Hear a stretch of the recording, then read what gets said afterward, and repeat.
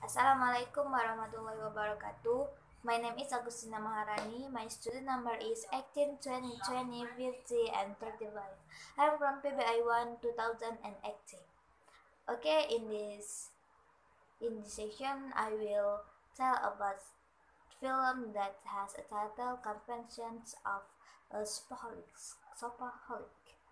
Uh, this film tells about Rebecca Bloomwood, who is a shopaholic as a journalist in, Guard- in Gardening Today magazine. She, ha- she has a dream to work at a famous fashion magazine name is Alette. Long short story, Rebecca will do a job interview at Alette's office.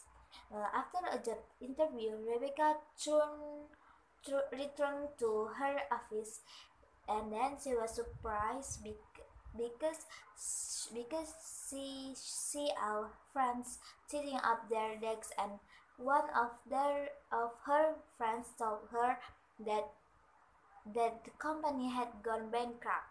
Finally, Rebecca didn't have a job. Suze is a Rebecca friend. Suze, Suze contact Suze con- count all Rebecca credit cards, bills, and her debts amounted to sixty thousand dollars. She said, How is possible that Rebecca will pay off all her debts without work?" Rebecca was speechless. At the end of the story, Rebecca at the end of the story, Rebecca is honest with everyone about her situation, and finally, she is able to be an inspiration for shopaholics who want to stop shopping. Uh, okay, from this film, if connected with real life, there is nothing woman who doesn't like shopping, especially for me. I like shopping, but I but not like Rebecca. I but I buy that thing that I need. If that thing not so important, I would better buy it later. I would better I save my money for the future.